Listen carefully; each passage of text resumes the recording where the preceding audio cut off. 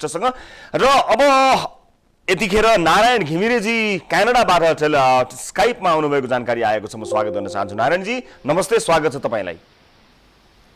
ए, नमस्कार रविजी नमस्कार। हजुर क्यानाडाबाट बोल्दै हुनुहुन्छ? हजुर म क्यानाडाबाट मेरो ल्याबमा थिएँ रविजी। म अहिले यता मेरो क्याबिनमा आएको छु हजुर मेरो अफिसमा। हजुर अब आफ्नो सिधा कुरा राख्न सक्नुहुनेछ नारायणजी।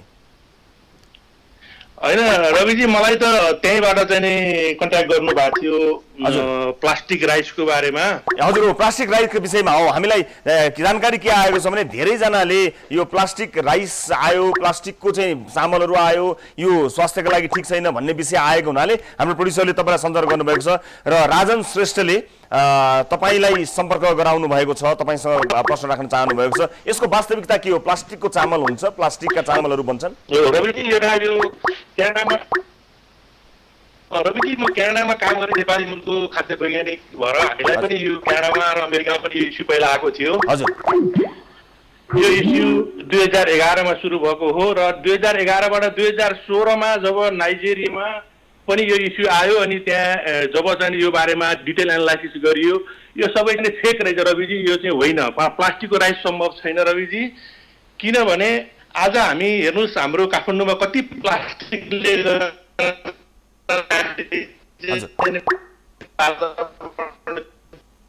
छ र बायोडिग्रेडेबल आज यति ठुलो च्यालेन्ज भइसकेको छ कि सक्नेसम्म टेक्नोलोजी अहिले संसारको भएको छैन।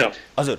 म एउटा कुरा क्लियर पारिहालेँ अलिकति तपाईँ अलिकति अलिकति हाम्रो त्यो यो कम्युनिकेसन स्टेबल छैन मुभ नगर्नु होला मेबी एकै ठाउँमा बस्नु होला। म एउटा कुरा क्लियर पार्छु। तपाईँको मतलब यो भने यो हो कि प्लास्टिकको चामल हुन सक्दैन। यो सम्भव छैन। प्लास्टिकका चामल हुन सक्दैनन्। यो प्रविधिले एउटा के भन्छ भने एउटा वैकल्पिक एउटा एउटा उपाय निकालेको अर्थमा हामी सर्वसाधारणले बुझ्न सक्छौँ यसलाई।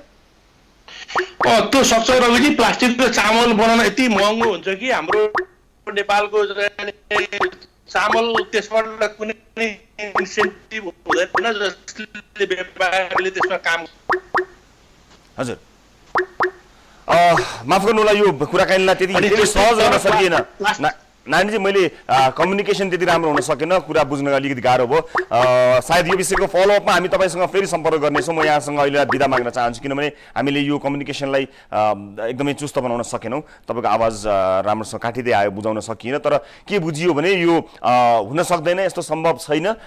यो गलत हो। प्ला यो खा खाद्य वस्तुको एउटा विकल्पको रूपमा भोलि भविष्यमा गएर खाद्य सङ्कट पर्दाखेरि कसरी इमिटेसन अलिकति त्यस्तै किसिमको स्वाद कसरी दिने भन्नका लागि अ, यस्ता चिजहरू बनाइएको हुन्छ जुन गलत होइन भन्ने आशय तपाईँले बताउनु भएको अलिकति मैले अनुभव गरेको छु। यसलाई फलोअप गर्नेछौँ एउटा रिपोर्ट राम्रो बनाएर हामी त्यस सम्बन्धमा थप फलोअप गर्नेछौँ भन्ने विश्वस्त हुन भन्ने कुरामा विश्वस्त हुन दर्शकहरूलाई अनुरोध गर्दै आजको अर्को विषयतर्फ यहाँहरूको ध्यान आकर्षण गर्न